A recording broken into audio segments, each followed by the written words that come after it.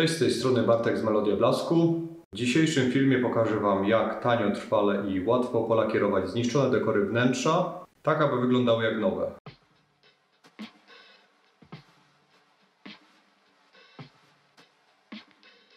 Koniecznie subskrybuj, daj łapę w górę przed oglądaniem i jedziemy z intro.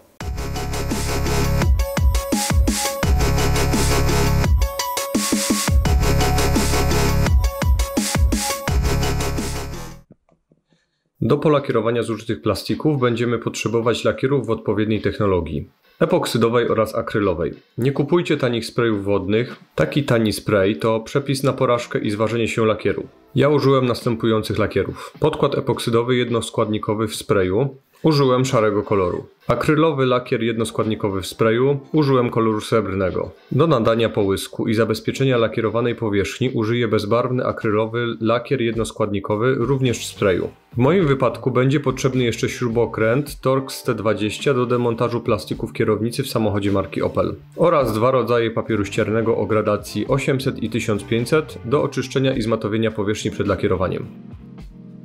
Przystępujemy do demontażu zużytych plastików. Nie zapominamy o odpięciu przewodów od kierownicy multifunkcyjnej. Jeżeli demontujecie inne elementy samochodu, zwróćcie uwagę na spinki, zaczepy lub okablowanie, które może być ukryte pod spodem. Idź, idź, idź piesek. Idź piesek tam, idź się połóż. Chodź, chodź, chodź tu. Tak prezentują się moje dekory, które poddam renowacji. Posiadają wytarcie lakieru, są brudne. Wygląda to po latach eksploatacji nieestetycznie. Demontuję przyciski, aby nie uległy zabrudzeniu podczas całego procesu.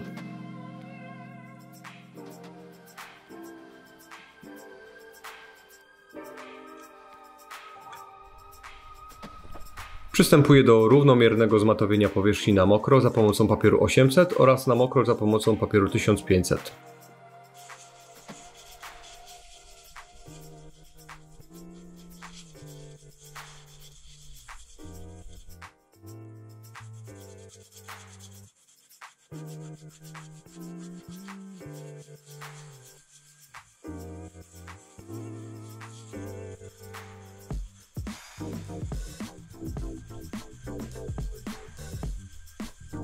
Tak prezentują się elementy po myciu, po procesie matowienia. Powierzchnia jest gotowa na przyjęcie podkładu.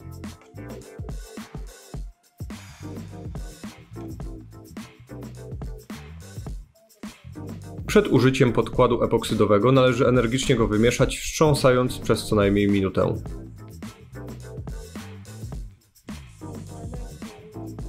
Dokonujemy natrysku próbnego. Będziemy nakładać około 4 bardzo cienkich warstw w odstępie 20 minut pomiędzy każdą warstwą, aby pozwolić dobrze odparować rozpuszczalnikom z lakieru.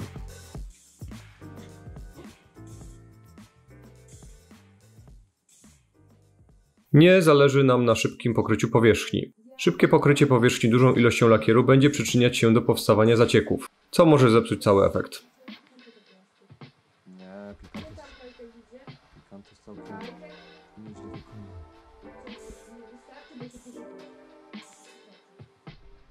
Tak prezentują się dekory po pokryciu epoksydowym lakierem podkładowym po czterech warstwach. Jak widać, warstwa lakieru jest bardzo cienka i o to nam chodziło.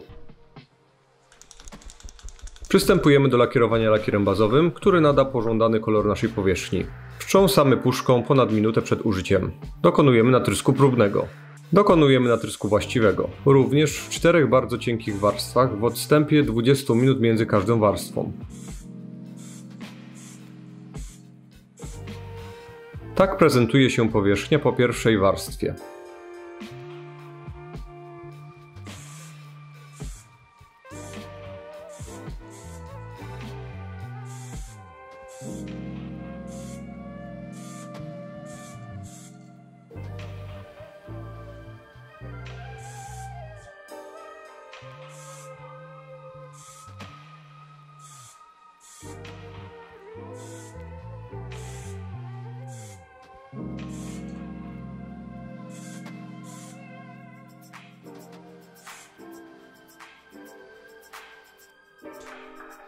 Po lakierowaniu oczyszczamy kanał wylotowy puszki przez naciśnięcie do góry nogami. Zapobiegnie to zaschnięciu lakieru w rurce, co pozwoli użyć nam puszki w innym terminie do innych prac.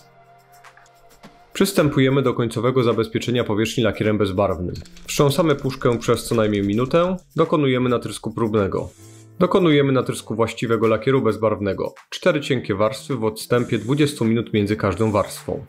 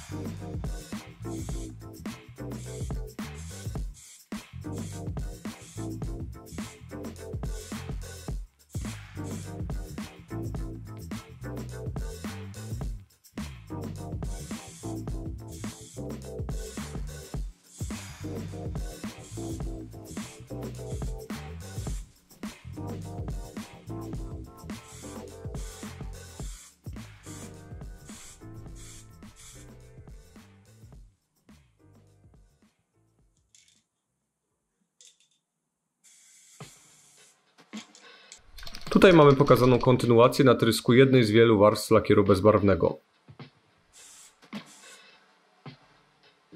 Lakierujemy ruchami szybkimi, ciągłymi, nie utrzymujemy spraya długo w jednym miejscu. Zależy nam na naniesieniu lub zapruszeniu powierzchni lakierem. Nie zależy nam na zalaniu powierzchni lakierem. To może powodować niechciane zacieki.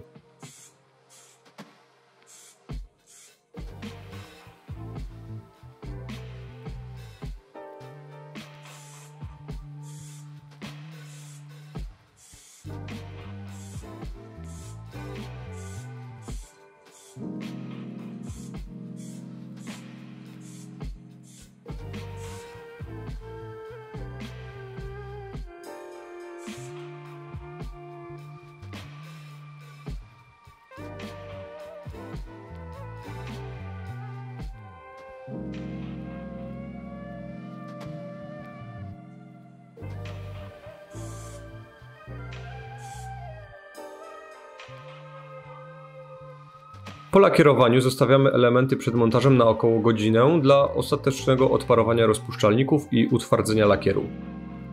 Efekt wygląda następująco. Uzyskaliśmy pięknie szklącą, gładką powierzchnię.